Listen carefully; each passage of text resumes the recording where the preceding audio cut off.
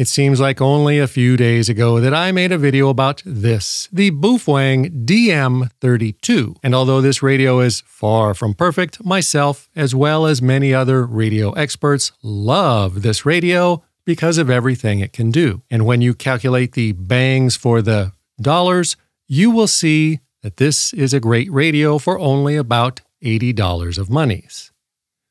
Affiliate link below. But 80 monies is a bit pricey for many people, and then they see this the Baofeng UV32, which looks pretty much identical, but costs only $40 of monies. And they may wonder to themselves if this one is just as good as this one. Because, you know, they look exactly the same.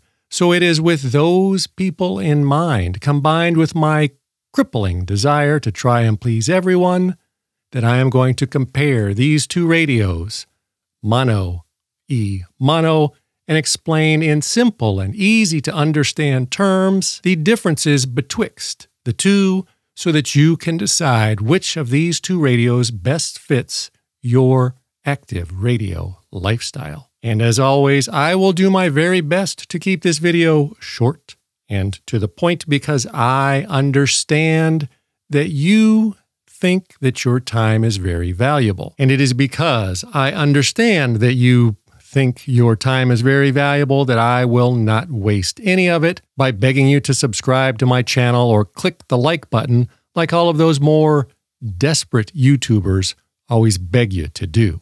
This is the Boofwang UV32. This is the Baofeng DM32. And as you can see with your very own visual bags, they look pretty much identical. However, just like your mama still tells you, it is what is on the inside that matters. And on the inside, these are quite different. The price for the Baofeng UV32 is about $45 of monies.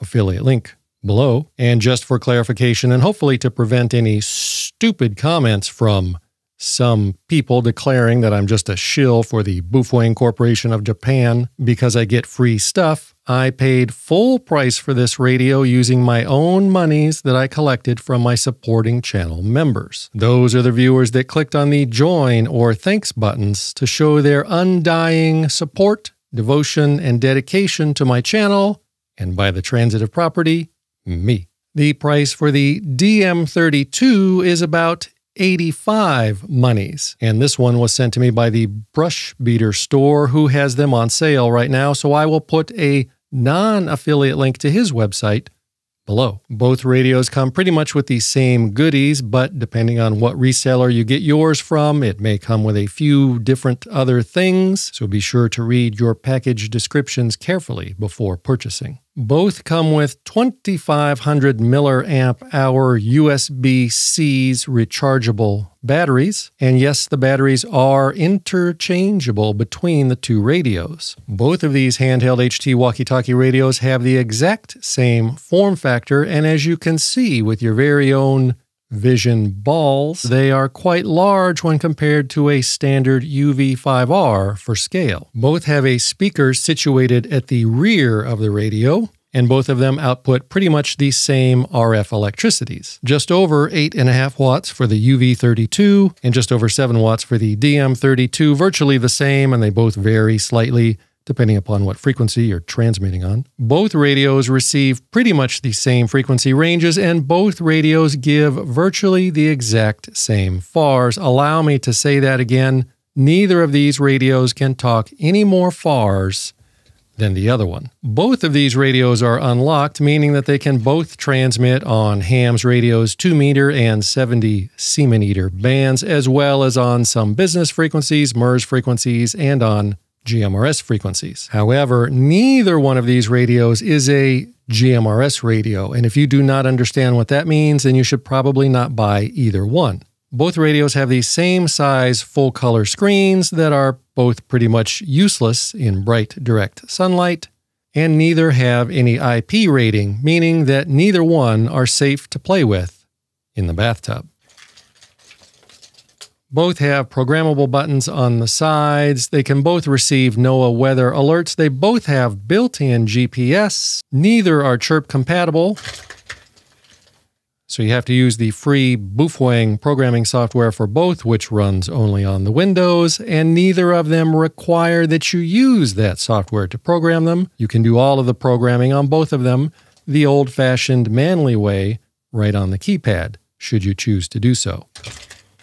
And of course, being the high quality radios that they both are, both of them have a Roger beep. Thus far, you may be thinking that these two radios are exactly alike, but if you thought that, you would be wrong. The DM32 can store 4,000 custom channels, whereas the UV32 has only a puny 1,000 custom channel slots.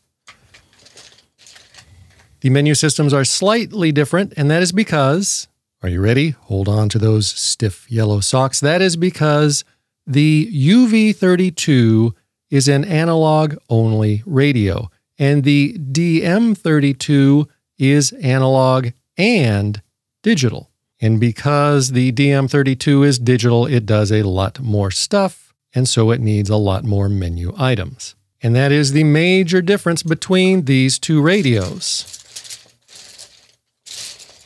The UV32 is analog only, meaning it is a regular old fashioned hams radios, whereas the DM32 can do all of that analog stuff that this one does, plus it can also do encryption, MDC, APRS, and DMR, and all of the goodness that comes along with those things. And that, my friend, is why the digital and analog DM32 costs twice as many monies as the analog only UV32. However, there is one thing that the UV32 can do that the DM32, costing twice as many monies, cannot do. The UV32 can be programmed via Bluetooth using the free phone app.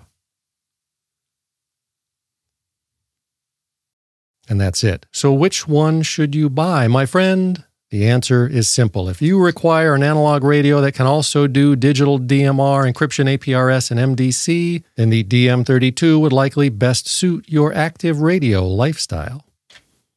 If, however, you want to save a few dollars, or if you have no need for all of the complications that come with all the digital stuff, then the UV32 is probably a better choice.